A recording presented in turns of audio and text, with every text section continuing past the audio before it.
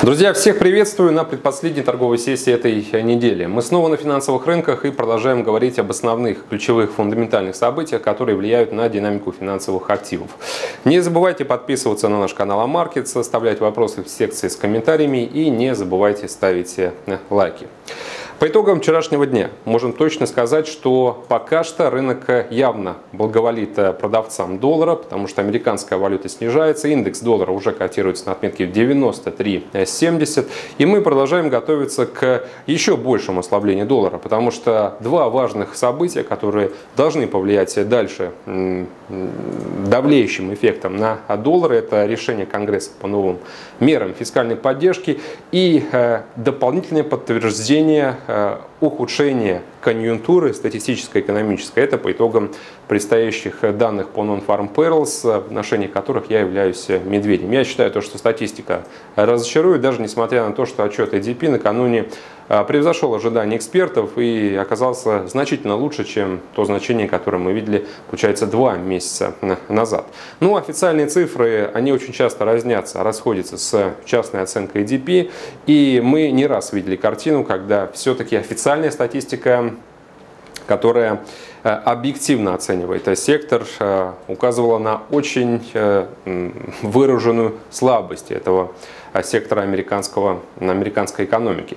Э, разумеется, без э, соответствующей статистической поддержки, с учетом того, что сейчас связано с, происходит с коронавирусом в Штатах, по мере ожидания новых мер поддержки от Конгресса, я не вижу причины, за которых можно было бы отказаться от идеи продажи курса доллара американской валюты.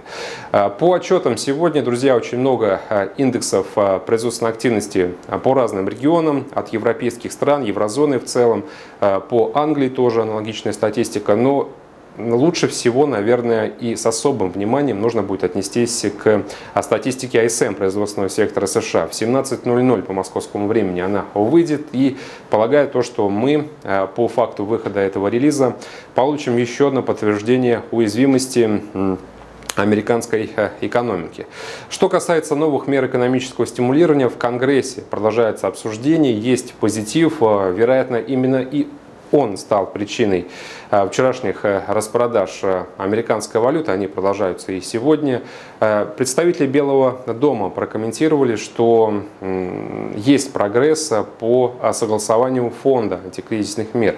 Ранее, за день до этого, Аналогичный комментарий делал и министр финансов США Стивен Мнучи. Но самое главное, что нужно дождаться, конечно же, фактических э, заявлений от самого Конгресса. Пока что их нету, но я думаю, что это вопрос лишь времени. Американская экономика нуждается в дополнительных деньгах, это все прекрасно понимают.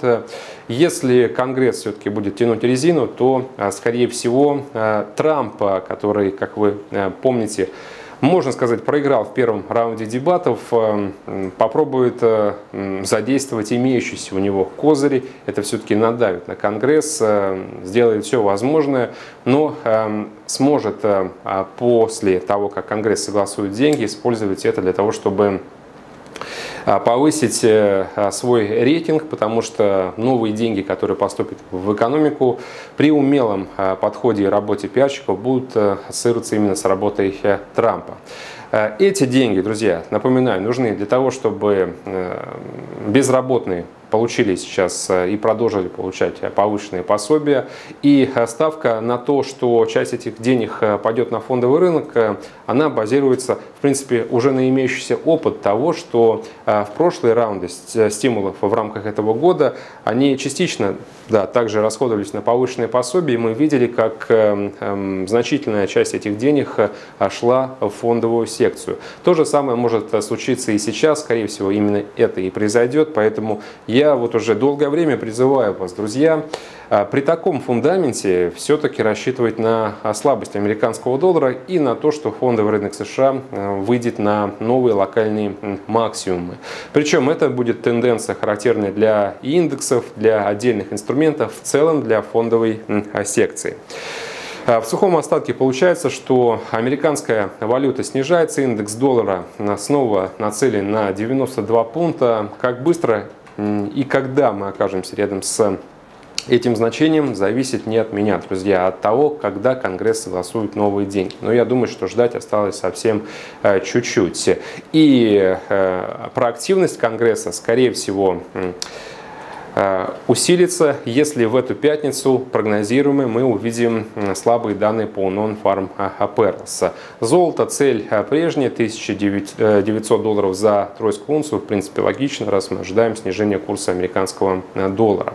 Евро против американца 1.1746, цели прежние 1.19, 1.20, причем это не только мои субъективные ожидания, это прогнозы ряда инвестбанков. Из-за слабого доллара риск сейчас получает очень хорошую поддержку. Давайте этим а, пользоваться.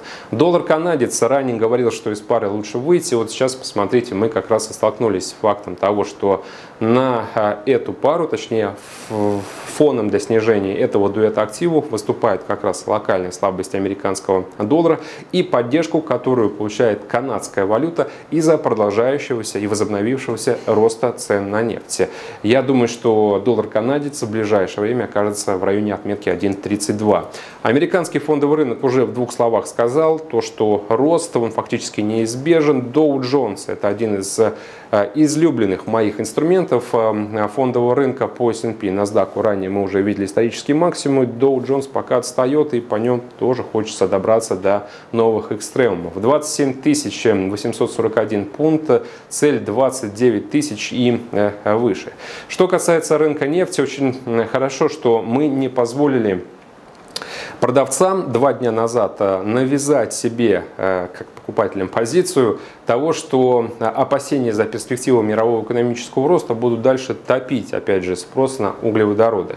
Мы адекватно оценивали фундаментальный фон. Друзья, я говорил, что при прочих равных есть вот небольшой перевес, который идет со стороны доллара. Вот, пожалуйста, американская валюта стала снижаться, и нефть очень быстро выкупили. Сейчас мы на фактически недельных максимумах 42-34.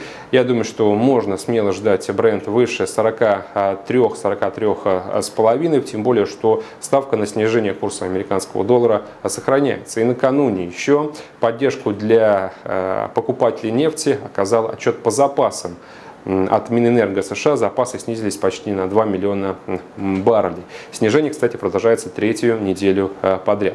То есть по нефти сохраняем длинную позицию, э, ставку и, разумеется, можем использовать э, такие ожидания по нефтянке для того, чтобы, друзья, зашортить пару доллар-канадец. Но все-таки у нас э, есть э, в арсенале риск, мы работаем с евро, мы работаем с долларом, с а, фондовым рынком. Может быть, даже и не стоит распыляться на все инструменты, которые сейчас на рынке присутствуют. Нужно выбрать что-то для себя одно. На этом все. Всем спасибо за внимание и пока.